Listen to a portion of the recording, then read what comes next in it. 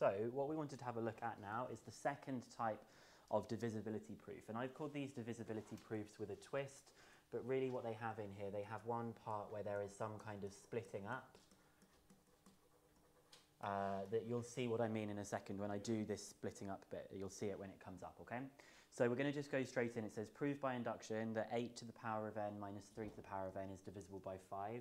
Well, we know the different starting points for this. First of all, I'm going to start off by saying let f of n equal 8 to the n minus 3 to the n, because it's just going to make the whole question a bit easier if I've got that language. And then I'm going to show that it is true for n equals 1.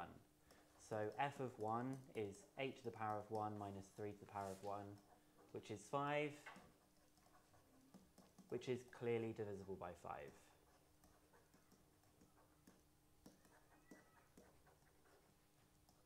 So it is true for n equals 1. Next step. Yep. So I'm going to assume that it is true for n equals k. Assume true for n equals k. In other words, f of k, which is equal to 8 to the power of k minus 3 to the power of k, is divisible by 5. Just as we expected from before. And then I'm going to try and show that it's true for n equals k plus 1. What did we say the trick was for divisibility? Uh, f of k plus 1 minus f of k Good. And so we'll do all of that subbing in. So it's going to be 8 to the power of k plus 1 minus 3 to the power of k plus 1. And then we're going to subtract this one, which is going to be subtracting 8 to the power of k, but it's going to become a 3 to the power of k when we get to this stage that we've got here. So we want to try and get them in the same kind of powers that we've got here. and then uh, you split it up into 8 to the power of k times 8. Good, so this is 8 to the power of 1 times by 8 to the power of k minus 3 to the power of 1 times by 3 to the power of k minus 8 to the power of k plus 3 to the power of k like this. And so we just want to then gather together the like terms that we've got. So I've got 8 lots of this minus 1 lots of this, which is 7 times 8 to the power of k. And then I've got minus 3 lots of this plus 1 lot of this, which is minus 2 lots of 3 to the power of k.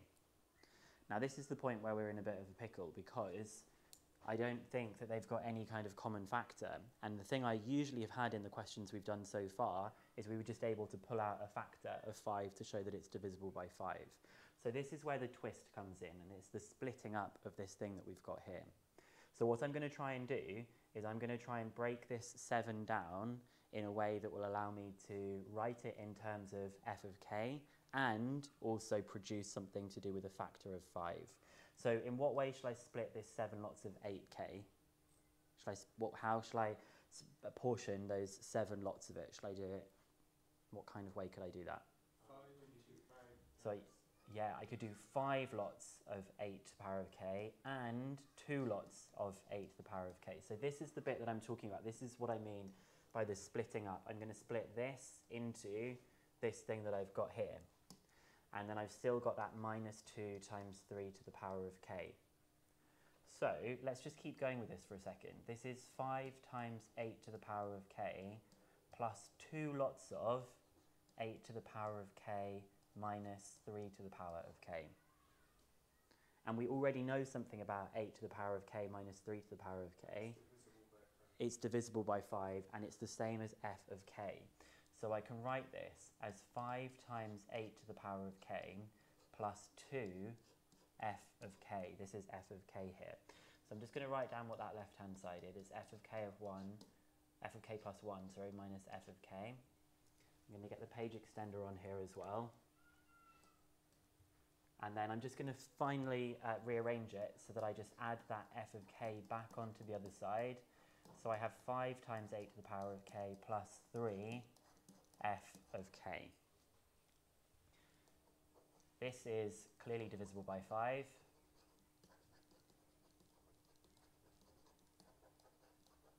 And we also, this is divisible by 5. because we assumed that it was earlier. Hence,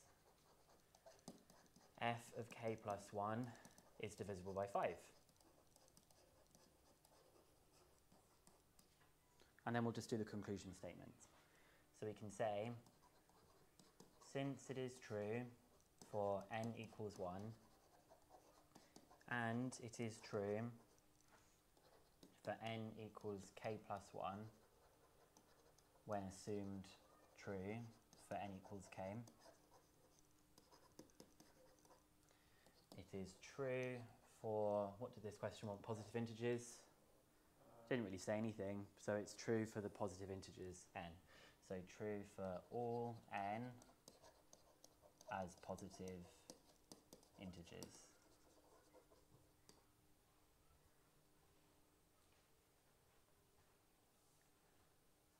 And so really this bit that we did here, if you just want to annotate about what happened, is we wanted to break this down. We wanted to split, split it up. So we had some multiple of f of k, leaving another part which was a multiple of 5.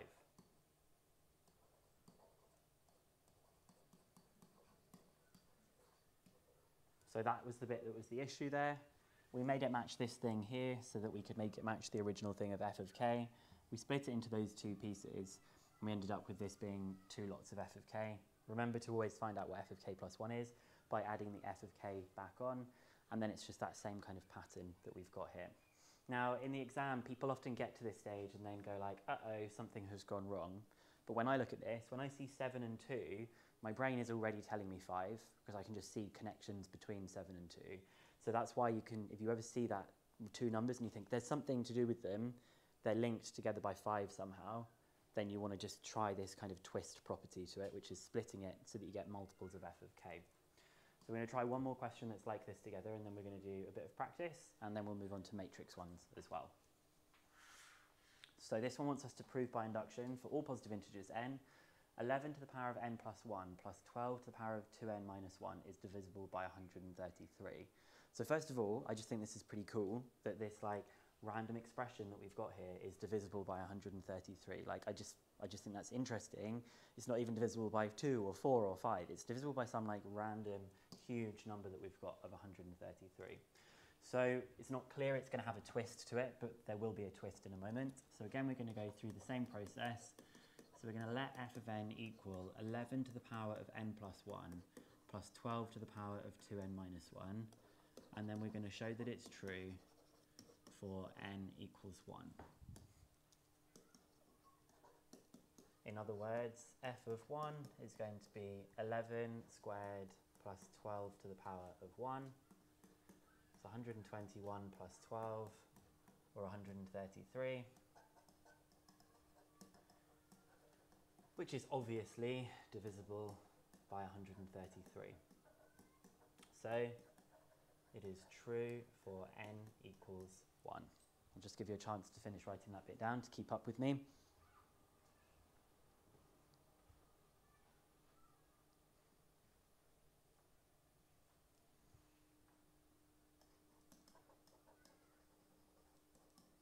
And then we're going to assume that it's true for n equals k. In other words, f of k, which is equal to 11 to the power of k plus 1 plus 12 to the power of 2k minus 1 is divisible by 133. And then you know the next step. We're going to show that it's true for n equals k plus 1. It's divisibility, so we still do that same trick. We're actually going to work with f of k plus 1 minus f of k, because later on we'll be able to add that f of k back on here. So just be really careful with subbing in your k plus 1 here. It's going to be 11 to the power of k plus 1 plus 1, so k plus 2, and then 12 to the power of, this is 2 times k plus 1, minus 1. What will that simplify to? 2k 2k plus plus 1. Because you have 2k plus 2, and then minus 1, it becomes 2k plus 1. And we're going to be subtracting from this f of k, so that's going to be 11 to the power of k plus 1. And remember, it's subtracting both of these bits, subtracting 12 to the power of 2k minus 1. Now, what we want to do is we want to make these bits, we want to make them look more like f of k. At the moment, the powers are the problem, so I want to I want to adjust them. It'll be 11 Good. 11 to the power of k plus 1. 11 times 11 to the power of k plus 1 12 squared plus 12 squared. times 12 to the power of 2k minus. Good. So do you see here, Marco was trying to ta- take it to the 2k minus 1. So he knew if he took 2 out, he could reduce that power down from 2k plus 1 to 2k minus 1. It's very good. Then we're, we've now got them all in the matching powers, and the powers all resemble the f of k powers. So we're trying to get it all in the same language, really, aren't we? So we can probably do a bit of the simplifying here pretty quickly. I've got 11 lots of this minus 1 lot of this, which is 10 lots of 11 to the power of k plus 1. And then the next part is going to be what? 143 143. We've got 144 and we're taking away 1, which is 143 times 12 to the power of 2k minus 1. Now, we wanted the divisibility to be 133. Again, you've got 10 and 143, so clearly we can see that connection of 133 between them, meaning I'm going to split this one into 133 Yeah, so I'm going to split it into a 10 and 133. So that's 11 to the power of k plus 1 plus 10 times 12 to the power of 2k minus 1 plus 133 times 12 to the power of 2k minus 1. I'm going to highlight, just like I did on the previous one, the splitting has happened here into these two pieces. And I did that in order to create uh, something that's a multiple of f of k and an extra bit which is going to be the multiple of 133. So I've now got 10 lots of 11th power of k plus 1 and 12 to the power of 2k minus 1, which is f of k. And I've got 133 times 12 to the power of 2k minus 1. And that whole thing is f of k plus 1 minus f of k. So we just finish off by saying what f of k plus 1 is equal to, which is 11 f of k plus 133 times 12 to the power of 2k minus 1. We obviously just finish off with the same, the same statements that just make sense. This is divisible by 133, and I guess you could say because of our assumption. You don't have to say that.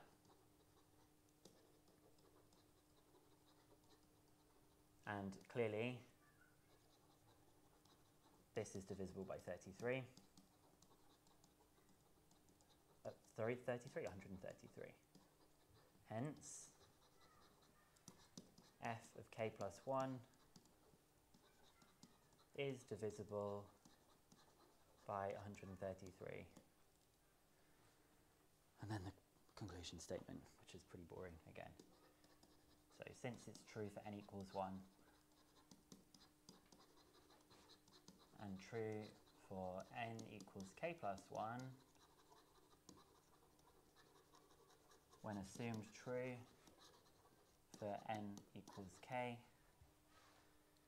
it is true for all positive integers, comma, n. So just, just zoom out and think about what the strategy for these questions. The strategy is always going to be to do your f of k minus 1, sorry, f of k plus 1 minus f of k. You're always going to, with these powers here, you're always going to make them look more like f of k. That was the strategy in the 2a type as well, when it was just plain divisibility without the twist. So sometimes people get really confused and they think, what are they trying to do with the powers? You're always trying to get the powers in the same language of the question, and really the language is the same powers or the same index numbers that you've seen in f of k. And then this bit I've highlighted in yellow shows that you can do that twist, which is the splitting up. And you can always spot that splitting up where you have, here we have a 10 and 143. There's always that link between 10 and 143. The difference between them is 133. And it allows you to rewrite this expression in terms of f of k from these two bits here, and then the remaining part, which makes it divisible by 133. So there's just a couple of questions from exercise 8b that um, use that kind of technique. So we'll look out for those. This is the more kind of, this is more of a common one that I think would come up in the exam because it's harder and they like to put in the harder kinds of things that they can do, okay?